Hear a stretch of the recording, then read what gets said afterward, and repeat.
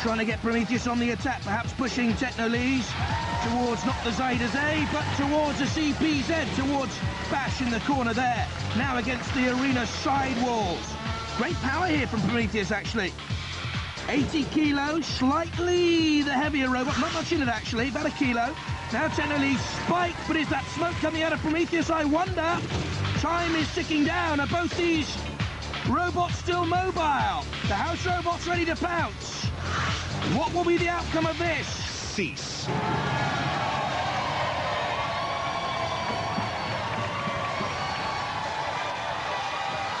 Well, Mrs. Pavarotti thought she had it hard when she gave birth to Luciano. But not even she had to do that much pushing. Obviously a draw. That's a very powerful machine incredible, that they have. yeah. To, to lock horns with this unit and and, uh, and go one to one. Very powerful. My hat's off to, to those guys. Good Sure. match. It was fun. Yeah, for an electric to push gas like that, it takes a lot of power. Yeah. Really? I was surprised. Yeah. Phenomenal. It's a. Mhm. Phenomenal. Not what you expected. No. No, we didn't Not all. expect that kind of power out of him. Not at all. Now, Eric, I have to say, it's been in and out of that arena, and it's still clean, nice, and shiny. Yeah, How yeah, do you yeah. do It has typical Dutch. How do you It has a keep everything scratches. so tidy Yeah, all the yeah. time? Is it a Dutch trait? I think so. Is it? Sometimes, yeah. Whereas the rest of Nice us are all and technology, yes. Not like the Americans, loud and noisy. Ooh, steady, Eric. That sounds like fighting talk to me. A point each for America and Holland. Let's find out how those Australian boys are doing back in the pits. Thankfully, the Irish lads um, have, have, have helped us out here. There's one. There's one. and um, yeah, they've they've basically lent us their second robot because we That'll had be an some aerial. Yeah. technical difficulties with our old one. So Goodness sake, I don't think I've ever seen such last minute preparations. Guys, have you explained to them what weaponry... I don't have to hold this all the way through. No, please. what weaponry they've got and how it works. Yeah. We've got nothing and we're going to beat them.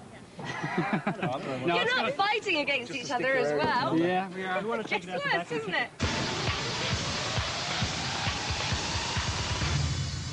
Philippa, they will be fighting, not quite yet. Let's go back to the battle that never was. Belgium against Australia, with the Diotoir Irish team lending the Aussies nemesis. Then a stroke of good sportsmanship. The main weapon is a pneumatic spear. G'day, I'm Nick. I'm Rodney. And I'm Peter. And this is Terror Australis. Well, this is our robot here. It's a, it's a big, mean fighting machine. stainless steel cover, two millimeter stick. You've got cutting and piercing weapons. Um, hopefully these things will do a bit of cutting damage. spikes in the back here, just a, more spiking and ramming, and a great big uh, Roman short sword out the front. We're hoping to do a serious bit of damage with this baby. Right. There we go. Meanwhile, Depopposaurus just waits patiently for its first taste of oil and engine grease. And let's be honest, the Australian boys haven't got a clue about that one, have they? Not the faintest idea. Three, two, one, activate. Philippe and Nancy Popeye with Poposaurus easing away from the left. Let's hope that Nemesis Terror Australis team don't turn out to be a duck-billed flatterwuss like your last entry, Aussies. Loud, they said. Mm, Australian. Loud, but not so proud so far. The Poposaurus trying to get that lifting flipper into gear. This is uh, Peter, Nick and Rodney, the Australian boys. Now, you don't really want to be on top of that lifting flipper. The Poposaurus isn't the speediest around the arena floor, only 8 miles an hour. Now, you'll see speed come into play in this international competition when the house robots are flying around. You need to be nippy to avoid them. The lifting arm up underneath Nemesis, which is a Robot Wars veteran, actually. Thing hard through war after war, but now representing Australia. There's Philippe at the controls. He loves his motorbikes. Wants to own a bike shop one day. There's a skull and crossbones on the side of Poposaurus. There's the great cutting, scything blade at the side of Nemesis, or we'll call it Terror Australis. They're enjoying it. Well, they've got to grips with the controls. Readily as time ticks down. Both will be mobile at the end, and I should think it'll be a point apiece for Australia and for Belgium.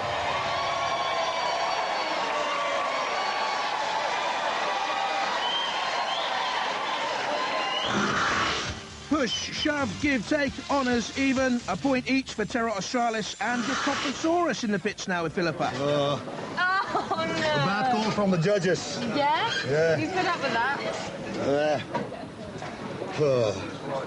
they're the boss, eh? Take the... So, But just tell me, why do you think it was a bad call? we almost lifted them. We was dominant all the way, and we lost. I don't think it's fair, but we're in England, eh? no! We're fair! Uh, you can't say that. I think they were more aggressive. Sure, they had the flipper, which kind of worked towards their advantage, but they didn't manage to flip us in the end. So I think a draw is, is as good as we could have hoped for, and I think we're quite happy with the result. Yeah.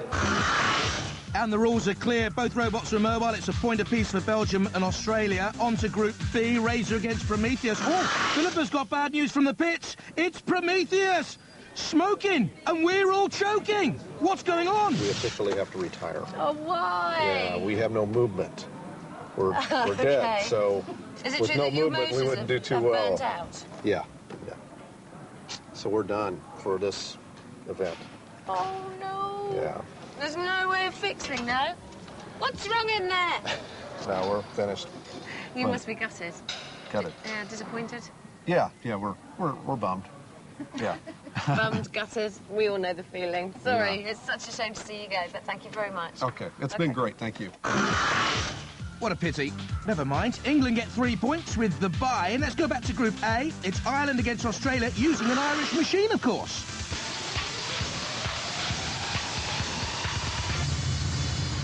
From Era, Diotoir.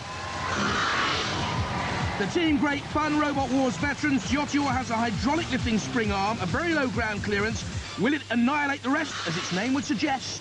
I'm Joe Gavin. Kieran Bourne. I'm Peter Redmond, and this is Diotoir, son of Nemesis. We're representing Ireland in the International Robot Wars competition, and this is the weapon that we're going to be using to destroy all the rest of the robots. It's hydraulically cocked on these large car springs, comes all the way down, so it's flush with this bar here, and then we can fire it and hopefully throw all the rest of the robots over. Be interesting here because Terror Australis, aka Nemesis from the Diotoir team, is a prototype of Diotoir. Be interesting to see how far the Irish have progressed and what lessons they've learned. This is Diotoir. At the controls, Peter Redmond. In the centre, and Terror Australis at the controls, Rodney Gullickson. When you think that most roboteers struggle to build one competitive machine, the Irish boys have built two here, representing Australia. Terror Australis now, of course, in the yellow, with the Roman blade in the front. Rodney at the controls, lifted up, though, by that hydraulic lifting spring arm of Diotoir. Both these machines have an adjustable and very low ground clearance capability. A smile on the face of Joe Gavin on the right-hand side in the Diotoir cherry picker.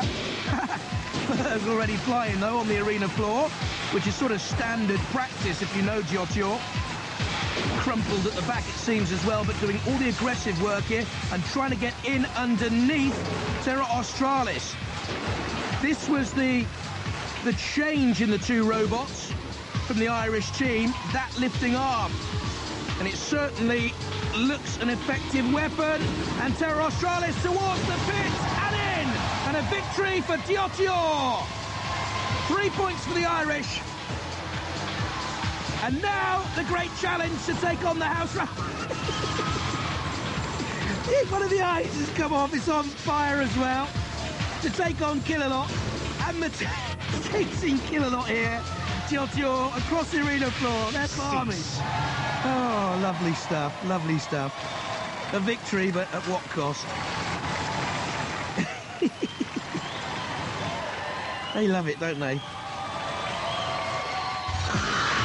Well, the victory means that Ireland are in control of the group. Terror Australis are now out. They can't qualify. We will be seeing them later on, though, in the programme. You came up with the goods. but the goods just weren't enough. Not quite. No, not quite. But we did a bit of damage. We tore plenty of fur off, and we We did, did. And we did manage to disable their weapon. So, it's a big, big gash in the front. We were talking to them and said it's disabled. We believe them. Do you think they're trying to make you feel better, maybe? Possibly. I always wanted to go with that one. That was great fun. Oh, Our last one. oh. The end of the eyes. The eyes have it. Tell you, them Aussies are vicious. He tore lumps out of us. But look, are you ever going to be ready to fight again? Oh, yeah. Don't How know, quickly? actually. we don't know. We have to check. Shunt gave us a whack of a hatchet right in Where? the electronics. Oh. Nasty place. Painful. Yeah, it's not nice to get a smack in the electronics. I wouldn't have thought it was. Rings, tears to your eyes.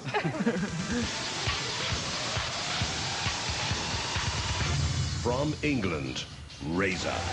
In the battle to settle Group D, the Sweeney Todd of Robot Wars can cut anything down to size with its great crushing beak. Specialist hardened sheet steel gives it a solid feel.